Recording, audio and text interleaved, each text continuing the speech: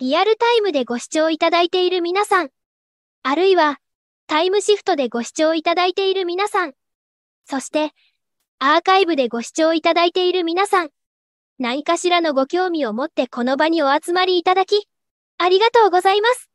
それでは、あなたの知らない AR の可能性を空間レベルで広げる VPS の世界と題して40分のレギュラートークを始めます。本資料はスピーカーデックに公開済みです。URL はハッシュタグ iOSDC 付きでツイート済みです。本発表はリアルタイムに喋っているものではなく、事前に収録した録画映像です。プロポーザルに記載の通り、この時間は VPS について知っていただく時間となります。VPS でググると、バーチャルプライベートサーバーの方がヒットしがちですが、ビジュアルポジショニングシステムの方です。バーチャルプライベートサーバーの VPS と読み違えていた方はすみません。同じ VPS でもお話しするのはビジュアルポジショニングシステムの方です。ビジュアルポジショニングサービスと表記されることもありますが、本セッションではシステムの方で進めます。というわけで、本セッションは私が担当します。XR× ファッションという軸であれこれやっています。技術領域としては昨今話題の猫も杓子もメタバースや Web3 も守備範囲です。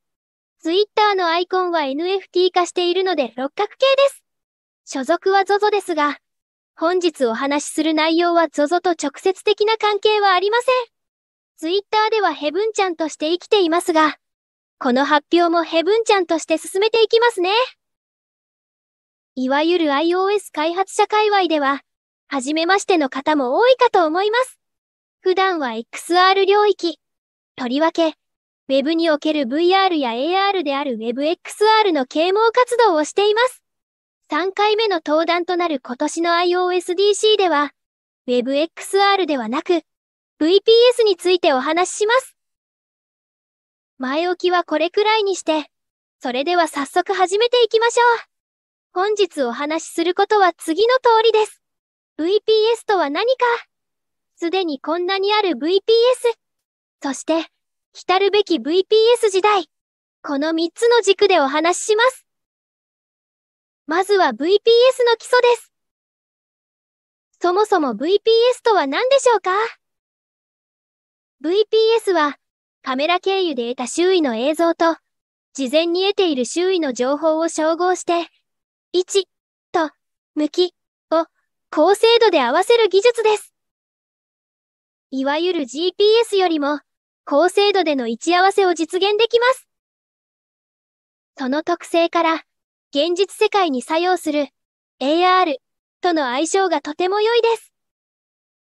左下の写真を見てください。例えばビルの壁面に沿って綺麗に AR が表示されていますよね。右下の写真も壁や地面から綺麗に AR が出現しています。こうしたことを実現できる技術が VPS です。まさに VPS によって街中の至るところに AR があることが当たり前の世界をイメージした Hyper-Reality という有名な動画があります。まだ一度も見たことがない方は YouTube で検索してセッションの合間に視聴してみてください。画面の奥には大きな猫ちゃんがこちらを覗いていますね。さて、この Hyper-Reality の世界は VPS が普及すれば遠くないでしょうか？実はすでにここまでは実現できています。猫ちゃんがビルの奥から歩いてくるこの動画は、VR 開発者のコリンさんが、VPS の一つである AR コア、ジオスペーシャル API で位置を合わせ、プラトーでオクルージョンを実現したものです。あるいは10年前まで遡ると、イェルプモノクルというサービスが空間に対して情報を頂上しています。このように、周囲の状況に応じて、コンテンツを頂上するコンセプトは、これまでにも複数存在しています。さらに遡り、iPhone 3G が発売された2008年にリリースされた世界カメラは、カメラから得た映像と GPS と方位磁石により、AirTag と呼ばれるものを空間内に平面で頂上していました。ご視聴いただいている皆さんの中で、世界カメラ、触ったことがある方はどのくらいいますか？残念ながら、世界カメラは2014年にサービスを終了してしまいましたが、VPS が使いやすくなってきている今であれば、より高精度に実現できるかもしれません。VPS の本題に入る前に、少し AR の定義をお伝えします。まず、AR は、 Augmented Reality の略で、学術的な日本語訳は拡張現実感です。皆さんご存知の通り、Apple の AR 関連ライブラリは AR キットですね。ちなみに、汎用的なライブラリの先駆けは、奈良先端科学技術大学院大学の加藤博和先生が開発された国産の AR ツールキットです。さて、AR の原点とも言える論文を表している、東氏によると、AR の構成要素は次の3つです。まず、現実世界とバーチャルな世界の組み合わせであること。そして、実時間で動作すること。最後に、3次元の整合性が取れていることです。この3次元の整合性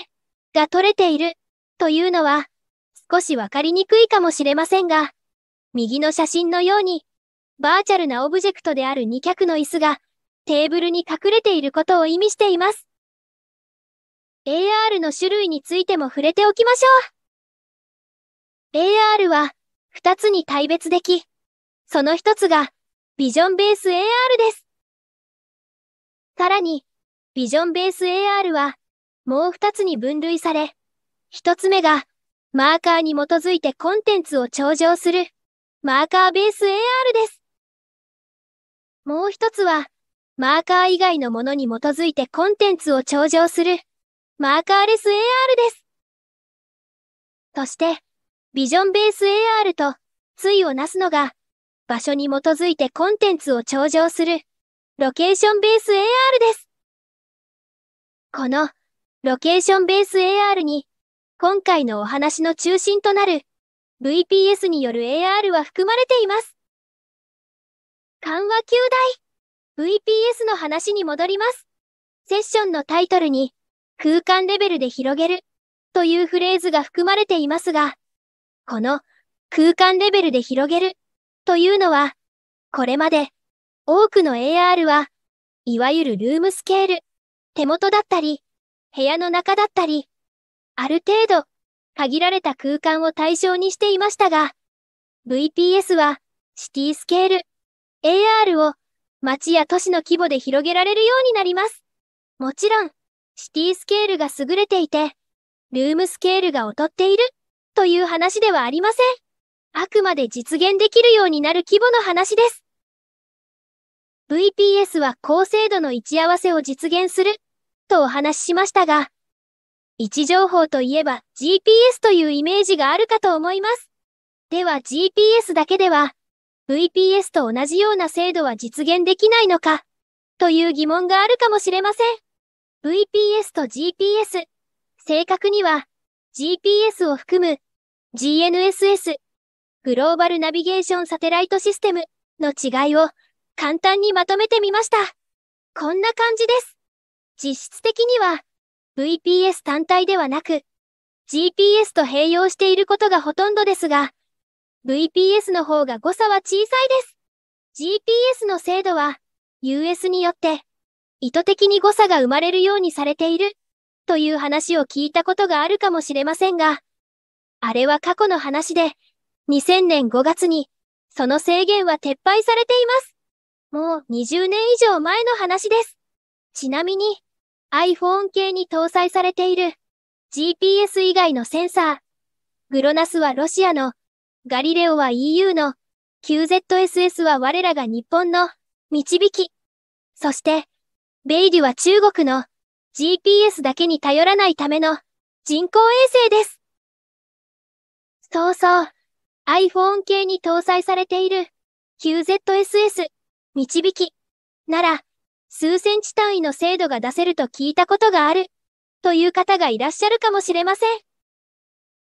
残念ながら、導きを使っても、iPhone などのスマートフォンでは、数センチ単位の位置合わせはできません。前提として、GPS による位置合わせには、三角測量用の3機と、衛星の原子時計とスマートフォンのクォーツ時計の差分を補正する1機、合計4機の衛星が必要です。そして、導きは、GPS と互換性を持つ、国産の準天頂衛星システムです。現在、4機体制で運用されていますが、常に日本の上空にいるのは1機以上です。また、導きの信号を受信できる iPhone ですが、いくつかある信号のうちの L1CA のみです。センチメートルの精度が未来を変えると歌う導きですが、この導きの性能を100%活用するためには、センチメータ級、即位補強サービスの L6 信号の受信が必要です。そう。これは iPhone には搭載されていません。スマートフォンに搭載するには、コストやバッテリー消費量の問題があるので、まだ、もうしばらく先の未来になるのではないでしょうか。スマートフォンの話は分かった。でも、カーナビは GPS を使っていても、道路から何メートルもずれることはないのでは？という方がいらっしゃるかもしれません。カーナビは GPS に加え、ジャイロセンサー、加速度センサー、ここまではスマートフォンにも搭載されていますが、さらに、カーナビ特有の膨大な地図データを利用して、自己位置を補正しています。さらに、最近のカーナビは、S バスに対応しています。カーナビは、カメラ経由の VPS とは異なる形で、カーナビメーカー各社が持つ地図データを用いて補正しています。まさにノウハウの賜物です。そして、先ほども出てきた、導きの S バス、衛星広報補強システムで精度を上げています。スマートフォンよりも大きな車載だからこそできるものです。最近では、スマートフォンのカーナビアプリも複数登場していますが、搭載されているセンサー類が異なるので、スマートフォンのカーナビは車載用のカーナビよりも精度が低くなることがあります。ただ、これも VPS を併用する形になることで、変わってくる可能性は大いにあります。映像ベースという観点で、VPS と NFT の違いについても触れておきましょう。NFT、ここでは、今流行の Non-Fungible Token を意味する NFT ではなく、 Natural Feature Tracking を意味するものですが、これは、いわゆる画像認識の仕組みです。右下の画像のように、特定の 2D 画像に合わせて、オブジェクトを重畳させられます。VPS のような 3D マップは必要としませんが、その代わりに対象となる画像の特徴点が必要になります。単色や反射が多いものなど、特徴点の少ない画像は向いておらず、また、VPS のように 3D の空間を特徴点にはできません。例えば、マーカーとなるポスターの上にオブジェクトを頂上させるケースなど、平面には向いていますが、VPS と比較して距離や一定以上の角度に弱くなります。これもまた、向き不向きの話なので、もちろん、VPS ではなく、NFT が適しているケースもあります。VPS の位置合わせ、ローカリゼーションについてお話しします。前述の通り、VPS はカメラ経由で得た周囲の映像と、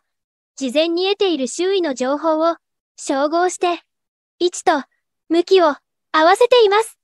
右下の画像は、その様子を的確に表しているものです。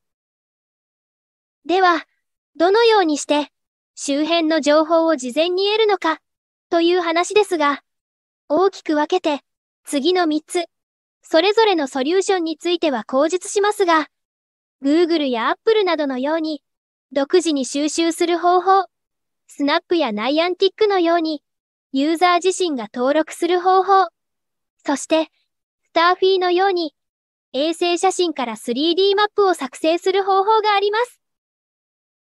ローカリゼーションという観点で、座標系の話は触れないわけにはいきませんが、それだけで時間が足りなくなってしまうので、ここでは割愛します。興味のある方は、書籍、AR の教科書がおすすめです。ここまで VPS とは何かと題して基本的なことに触れてきましたが、ここからはすでにある明日から使える VPS をご紹介します。VPS のプラットフォーマーたるプレイヤーたちの一部をリストアップしてみました。猫も杓子もメタバースだ。Web3 だ。という今日この頃ですが、特に今年の春先から VPS 業界も大盛況です。いくつかの VPS ソリューションについて説明します。最初にお伝えしておくと、私はスナップのカスタムランドマーカーが好きです。一つ目は AR キット、ロケーションアンカーです。各 VPS の紹介ページの右上には、用意されているサンプルの言語を載せています。ロケーションアンカーは、ご存知、Apple 純正の機能で、Objective-C か Swift で書きます。この ARKit、Location Anchor は、AR キット4から搭載された、緯度、経度、そして高度を指定して、オブジェクトをピンポイントで設置できる iOS、iPadOS 向けの機能です。一昨年リリースされた AR キット4。現行版の AR キット5まで日本は非対応でしたが、次にリリースされる AR キット6で、東京、大阪、京都、名古屋、福岡、広島、そして横浜の一部地域に対応します。嬉しいですね。試したことがある方も多いと思いますが、この AR キット、ロケーションアンカーは、Apple 純正のマップアプリで AR ウォーキングとして利用されています。AR キット6での対応に先行して、2022年5月から国内の対象地域で実際に試せます。このページのスクリーンショットは、私がこの夏、浅草にお出かけした時に、観光名所、雷門の前の交差点で AR ウォーキングを試した時の模様です。あまり距離が離れると対象外になることがあります。今はまだ NDA の管理下にあるため、今週、もしかすると、もうすでにいきなりリリースされているかもしれませんが、AR キット6のリリース以降にリリースされるであろうアプリが待ち遠しいです。次は、Google の AR コア、ジオスペーシャル API です。こちらは、Unity 向けのほか、iOS 向けには Objective-C の、Android 向けには Java のサンプルが用意されています。この AR コア、ジオスペーシャル API は、Google I.O. 2022の場で発表された AR コアの拡張機能です。GCP を併用して、緯度、経度、高度、そして向きを指定します。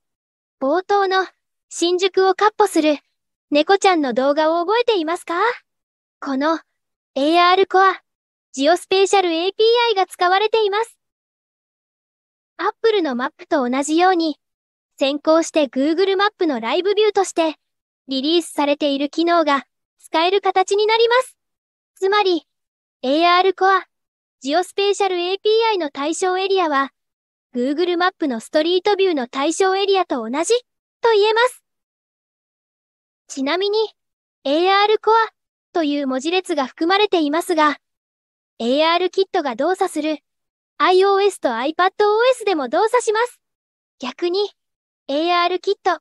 ロケーションアンカーは、Android では動作しません。また、Android の場合でも、AR コアが動作する端末が必要となるため、いわゆるミドルレンジ以上の端末が必要となります。余談ですが、とってもおしゃれで、一目惚れして買ってしまったナッシングフォンは、残念ながら、AR コアが搭載されていないので、試せません。Android での検証には、Xperia 1、3がおすすめです。それでは皆さんも、公式で用意されているサンプルコードを実際にビルドして試してみましょう。iPhone で動作させます。まずは、サンプルコードを Git クローンしてください。丸ごとダウンロードでも大丈夫です。次に、GCP、Google クラウドプラットフォームで任意のプロジェクトを作成しましょう。その後、GCP の API ライブラリから AR Core API を有効化しましょう。AR Core、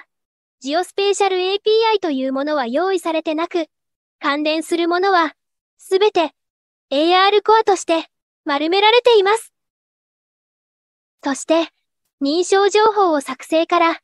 API キーをコピーします。GCP での作業はここまでです。続いて、X コードでサンプルコードのビューコントローラー .m を開き、指定の箇所に先ほど作成した API キーを貼り付けます。準備が整ったら、ターミナルでポットインストールします。私は M1 MacBook Air でビルドしていて、この場合、 Rosetta を使用しなければならないという話もありますが、少なくとも、私の環境では、 Rosetta を使用せずに、 pod install が成功しました。最後は、普段通り、ビルドして iPhone 実機で試します。先ほどから右に見えている画像は、実際に試している様子です。続いて、もっと簡単に、みんな大好き、かもしれない。ノーコードで始める AR コアジオスペーシャル API です。オレンジムーン社の AR ストリートエディターを使えば AR コアジオスペーシャル API ベースの VPS コンテンツをノーコードで作成できます。ものすごくシンプルなものですが、実際に試したものが右の写真群です。このツールでは、エディタ上でオブジェクトごとに緯度、経度、高度、拡大倍率、そして回転を設定できます。緯度と経度は Google マップベースの Web エディターから設定できます。表示できるコンテンツはテキスト、画像、3D モデル。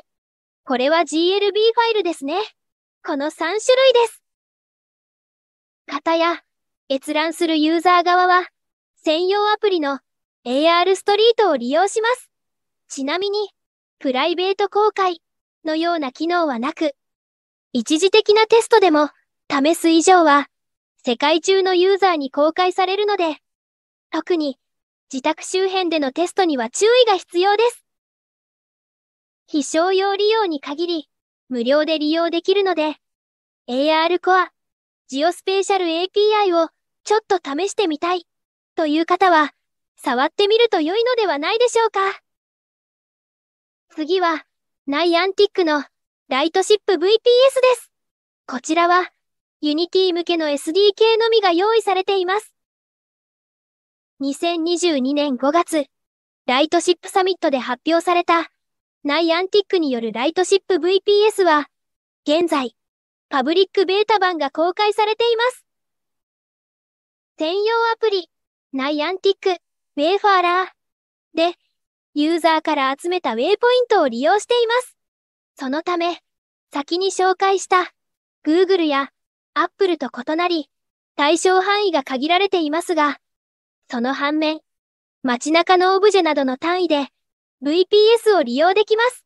ナイアンティック、ウェイファーラーは、ナイアンティックが運営している、イングレスやポケモン GO のレベルが一定以上のユーザーのみが使えますが、開発者であれば、テストフライトで配布されているアプリを利用できます。日本は、東京、京都、大阪、名古屋に対応しています。左下の写真は、東京エリアのものですが、実は東京ディズニーランドのエリアも対応しています。次は、私の好きな、スナップのカスタムランドマーカーです。こちらは、アプリに組み込むものではなく、スナップチャットアプリでのみ使えるものです。もともとは、一部地域でのみ利用できた機能ですが、2022年3月、全世界で開放されました。また、26カ所の名所は、ランドマーカーテンプレートとして配布されているので、現地でのスキャンを必要とせず、お家で VPS コンテンツを作れます。このカスタムランドマーカーを使えば、誰でも簡単に VPS のスポットを作成して、ノーコードでそのスポットに頂上される AR コンテンツを設定できます。スキャンにはライダーを搭載している iPhone または iPad が必要です。AR コアには対応していないので、Android ユーザーで作りたい方は、ライダー搭載 iPhone を買いましょう。また、頂上させる AR コンテンツの作成には、Windows、MacOS 向けのレンズスタジオというアプリが必要です。スナップチャットのカスタムランドマーカークリエイターとレンズスタジオを使ったカスタムランドマーカー作成の流れは次の通りです。まず、スナップチャットでの作業は、右の動画の通りです。カスタムランドマーカークリエイターレンズから、作成画面を起動します。そして、ライダーを搭載した iPhone または iPad で対象をスキャンして、メッシュを作成します。作成したメッシュをアップロードすれば、スナップチャットアプリでの作業は終了です。次に、Windows または MacOS 向けのレンズスタジオアプリを起動します。複数用意されているテンプレートの中から、カスタムランドマーカーのテンプレートを選択し、そこに先ほどスキャンしたメッシュを読み込みます。あとは好きなようにオブジェクトを配置してください。この時、ランドマーカーメッシュそのものは非表示を推奨します。さあ、あとは公開するだけです。右の動画は、作成したカスタムランドマーカーを実際に試している様子です。iOSDC Japan 2022の文字列がずれずに表示され続けている状態がわかるかと思います。今回作成したカスタムランドマーカーは公開されているので、スナップチャットでこのページのマーカーをスキャンすると、株式会社 ZOZO の西千葉オフィスの屋外に設置されているブロンズ製 ZOZO 箱のモニュメントで実際に試せます。最後に紹介するのは Immersal です。こちらは、 Unity 向けのほか、iOS 向けには Swift のサンプルが用意されています。 Immersal は、2021年に Hexagon が買収したシティスケール AR を歌う VPS です。スキャンで多く見かけるライダーを使わずに、2D の写真をもとに、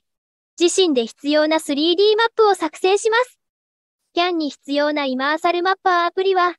iOS と Android 用がそれぞれ提供されています。イマーサルは、スマートフォンアプリ向けだけではなく、AR グラスのエンリアルライトや、MR デバイスのマジックリープといった多彩なデバイスにも対応しています。今回挙げている VPS の中では、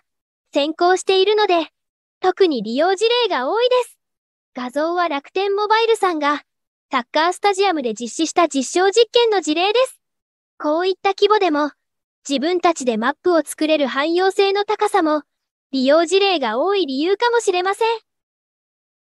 VPS ソリューションの選び方をまとめてみました。先にお伝えしておきますが、これはあくまで一例であり、用途によって最適な手段は異なります。公共のすでにある 3D マップを使いたい場合、そして、地図情報を元にした広い範囲の場合、iOS または iPadOS に最適化させたいなら、AR キットロケーションアンカーになるでしょう。ただし日本全土というわけではなく、地域が限られてしまうことには注意が必要です。iOS または iPadOS に加えて、Android も対象にしたいなら、実際のところ、このケースが多いかと思いますが、そういった場合には、AR コアジオスペーシャル API が良いでしょう。型や狭い範囲であれば、その時は、ナイアンティックのウェイポイントを使えるライトシップ VPS が選択肢に上がってきます。では、自分で登録した 3D マップを使いたい場合は、室内などの狭い範囲から、サッカースタジアムなどの広い範囲まで、汎用的に使いたいなら、やはりイマーサルが良いでしょう。あるいは、直径10メートル以内という制限はありますが、ライダーによる高精度の位置合わせを実現したいなら、ナイアンティックのライトシップ VPS も今後の選択肢に入れて良いかと思います。そして、アプリを開発するリソースがない、または一時的なキャンペーンなどで利用したいとき。これは、スナップのカスタムランドマーカーが候補に上がってきます。ただし、国内においてはスナップチャットの普及率が課題になる可能性があります。VPS を活かしたコンテンツ開発で気をつけたいこともいくつか挙げてみました。まず、多くの VPS ソリューションは Unity での開発を前提としています。よし、これから Unity を使うぞという場合、一定以上の収益のある企業での商用利用には Unity Pro ライセンスの契約が必要になるので、ご注意ください。当たり前の話ですが、開発者の人数分だけライセンスが必要です。そして、自然な AR を実現するオクルージョンは、VPS だけでは実現できません。AR キットで実現できるのは、人を対象としたピープルオクルージョンですね。都市ベースであれば、国土交通省のプラトーで解決しているのは、冒頭のコリンさんの動画の通りですね。また、ロケーションベース AR であるがゆえに、現地でのデバッグが重要になります。ここでは詳しく説明しませんが、もしも AR コアレコーディングプレイバック API を適用できるのであれば、リモートデバッグも可能です。最後に、なんだかんだ言っても、現実空間に頂上する 3D アセットが表現の大半を左右します。これはソフトウェアエンジニアだけでは解決できない問題かもしれませんが、デザイナー、3D アーティストが用意した美麗なグラフィックをスマートフォンで綺麗に表示させるのは、それこそソフトウェアエンジニアが担うべきところですね。残り時間もわずかになってきました。来るべき VPS 時代として、いくつかのトピックスを用意しました。まずはありがちな AR コンテンツにおける歩きスマホ問題です。多くの AR コンテンツはスマートフォンで動作しますよね。特に GPS、VPS を利用した場所に基づく AR コンテンツはどうしても歩きスマホが発生しやすくなります。歩きスマホによる事故などを防ぐためには、コンテンツ側で歩きスマホ対策が必要となります。右側の画像の通り、Google マップのライブビューは、立ち止まっている時には AR で経路が表示されますが、その状態で数歩歩くだけで警告メッセージが表示され、それでも歩き続けると、画面が暗転し、歩きスマホ状態が続かないようにしています。また、スマートフォンを周囲にかざすという行動が、他者からは、取られている、という勘違いを引き起こす可能性もあるので、これも注意が必要です。次は AR グラスのお話です。AR グラスは、AR や VPS の普及と合わせて語られることが増えてきました。現在の AR グラスは、スマートフォンと物理的に有線でつなぐテザー型が一般的です。VPS が一般社会に溶けた世界では、常に身につけている AR グラスのようなデバイスが向いていると考えられます。これが結果的に歩きスマホ問題を解決する一助となるかもしれません。ただ、現時点ではメガネユーザーが使う場合のメガネオンメガネ、バッテリー消費や熱の課題などが挙げられます。続いては少し目線を変えて、屋外広告の上に AR オブジェクトを頂上することの法的課題についてです。VPS が当たり前の技術となり、多くの人がシティスケールの VPS で彩られた時代、屋外広告 A の上に、競合他社が意図的に屋外広告 B を AR で頂上した場合、問題はないでしょうか？前提として AR に関する法律は存在していません。物理的な屋外広告は屋外広告物法が適用されます。権利侵害に関するものは著作権法が適用されます。スマホ AR で適用されるその他の事例としては、不法侵入に関するものが挙げられます。私有地に勝手に入るのはダメです。では、例えば、意図的に頂上した広告が、誹謗中傷にあたるものであれば、名誉毀損として問えるでしょうか？私は法律の専門家ではないので、残念ながら正確な回答を持ち合わせていませんが、名誉毀損の成立要件は、現実世界、そう現実世界の社会的評価の低下とされている中、中の人がコーチの事実となっている VTuber への名誉毀損が認められる判決が出ています。これは大きな影響を及ぼす判例だと考えています。VPS や AR に限りませんが、現状、技術の発展に法律が追いついていない事例は多々ありますが、だからこそ頭の片隅に入れておく必要があると考えています。最後のトピックスとして、AR キット6の正式リリース後、AR キットロケーションアンカーを使った VPS コンテンツは増えるか、を期待混じりで書き連ねました。もちろん、個人的な希望としては増えてほしいです。ここで重要なのは実際の対応エリアです。日本国内において、一部地域にのみ対応という点はナイアンティックのライトシップ VPS ですね。狭い範囲を対象とした点のライトシップ VPS に対して AR キットロケーションアンカーは道路を基準とする面に対応しています。この差をどう活かすかは一つのポイントかもしれません。何よりも重要なのはインストールする必然性のある VPS コンテンツかどうかです。新しめの技術あるある。ですが、VPS もまた、目的、ではなく、手段です。そういった意味では、将来の AR グラス的なデバイスに期待かもしれないですね。終わりに。というわけで、あなたの知らない AR の可能性を空間レベルで広げる VPS の世界、いかがでしたでしょうか？VPS が普及することで、AR の可能性が手元から部屋へ、部屋から建物全体へ、建物全体から街へ、と空間レベルで広がっていきます。各社の動向を鑑みるに、VPS はこれからますます普及していくことでしょう。今はまだ VPS と銘打つことが多いですが、将来的には社会に溶けた自然な形になることを期待しています。もちろん、VPS だけでは解決できない問題もたくさんあります。VPS を活かしたコンテンツには、オブジェクトを自然に配置する、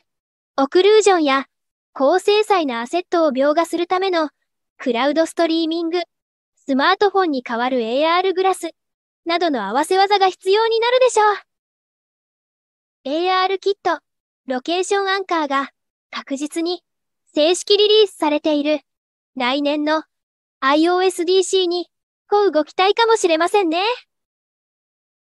最後に少し宣伝です。今年の iOSDC ジャパン、弊社 ZOZO からは私の他にも5名が登壇しています。よろしければ他のセッションもぜひ覗いてみてください。それでは、本セッションは終了です。リアルタイムで見ている方は、iOSDC、残りの時間もお楽しみください。皆さん、良き VPS ライフを